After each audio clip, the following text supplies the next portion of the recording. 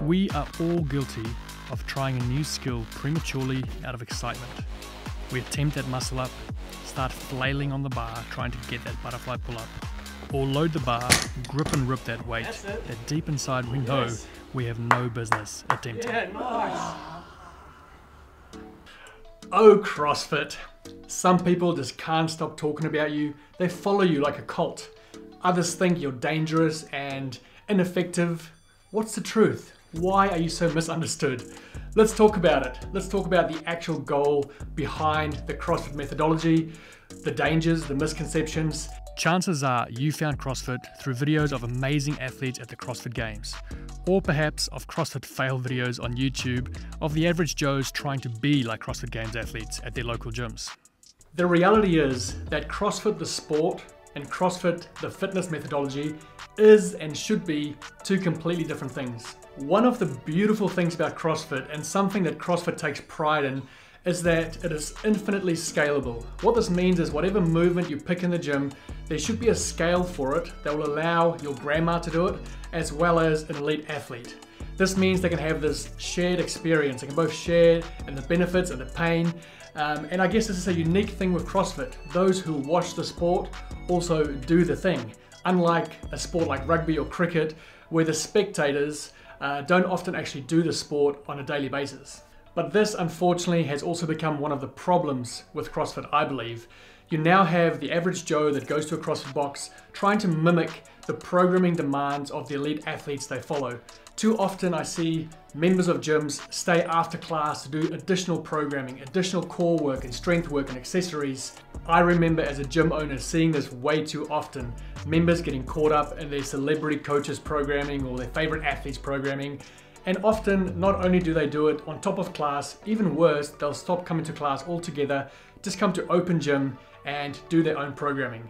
And this way, they miss out on the two most important things that a CrossFit gym gives you coaching and community. One of the biggest misconceptions or concerns with CrossFit is that it's dangerous and it causes injuries. And I think the best place to go to see what the programming originally was meant to look like is CrossFit.com. And if you jump on CrossFit.com and you look at the programming, you'll soon realize how conservative the volume is from day to day. It literally has one component per day. So you might be doing just a 5 by 5 back squat, or you might be doing a 15 minute workout, and that is it for the day. It very much takes a long term, a lifelong approach to fitness. And if you imagine walking into the gym and all you had to do that day was a 15 minute workout with, say, two or three movements, you can imagine just how much attention and detail you can put into that session when it comes to the warm up, drilling the skills and the movements before going into the workout. And I think that was the original intention for the average human being going to a CrossFit gym to take it slow, to have a long term approach, to be conservative with the volume and the amount of weight you put on, how fast you move. It really did start off as a very reasonable and conservative fitness program. And that brings me to my next point. Not all CrossFit gyms and not all coaches are created equal. Nice, Tommy. That's it, mate. Drive those knees out. Elbows up. Looking good, Tommy. Looking good.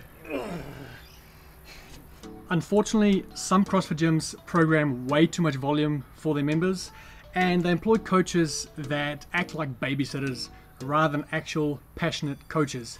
And as much as I'd like to say that every CrossFit gym is amazing and that they're all the same, I've been to enough gyms around the world to know this is not the truth. You have to shop around and find a gym where the coaches really care and they actually coach. Next, you have to swallow your pride and commit for the long term. Don't add more weight, don't move faster, don't move on to the next progression until you have proven that you can move the current weight or the current progression with good technique consistently.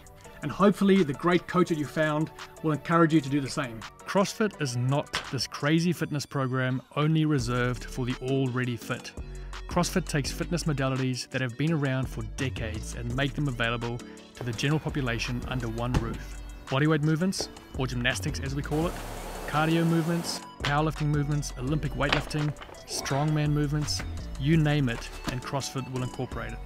This is such a great approach for the majority of people. The constant variety will mean that you will develop a well rounded fitness. Yes, you can get strong and build muscle doing CrossFit. Yes, you can lose weight and lean up. You can get more flexible. You can develop an incredible cardiovascular capacity.